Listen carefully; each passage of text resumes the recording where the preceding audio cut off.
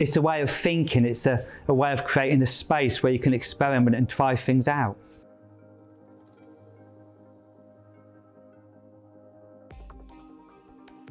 I'm one of the printmaking technicians here at um, Central St Martin's and I work mostly in woodcut.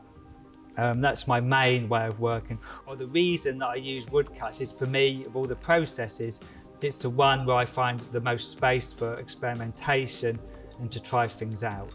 The way that you can build up lots of layers and also use a lot of colours. So I often start with a, a digital image because I try and bring a lot into the, the woodcut. And obviously one of the good things about printmaking is that you can just bring lots and lots of different techniques into the process. And I don't like to see any white paper remaining on the print, except maybe in the, the border around the edge of the image. So I like to make really quite dense images.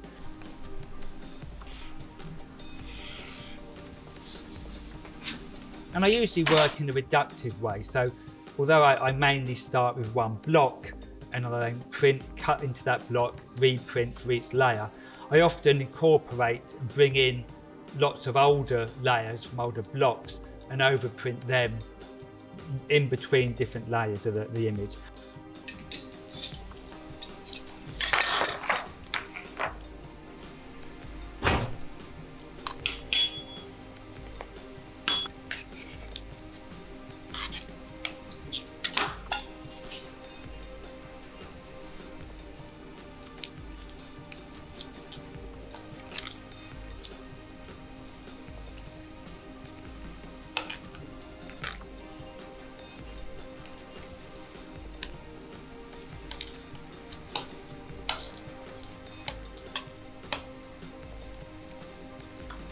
I start with a, a, plan of each layer that I, I kind of trace onto the, the, block to cut.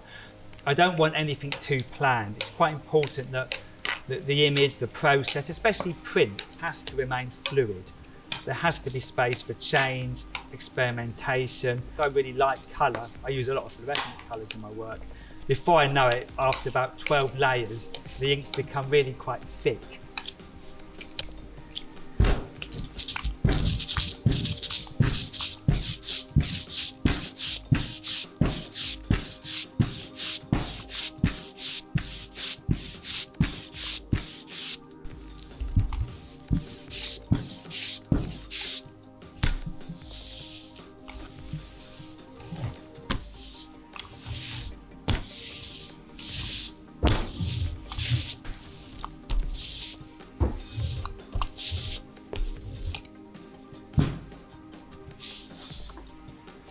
the starting point of my work has always been photography. And I work in the dark room and I take a lot of photos, often with quite cheap cameras that I've bought in charity shops that might have cost £1.50 when I take photographs. They're often of small details. It could be the uh, something you know on the edge, or on the periphery, something overlooked. It could be just a small detail.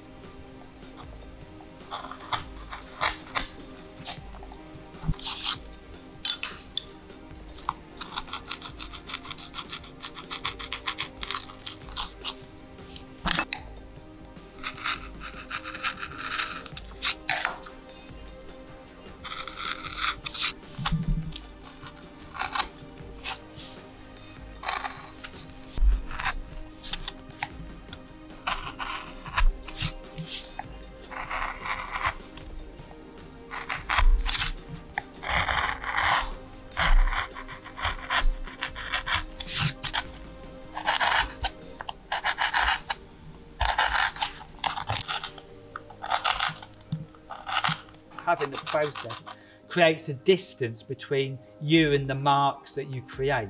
And I think that distance, that otherness is quite important for me.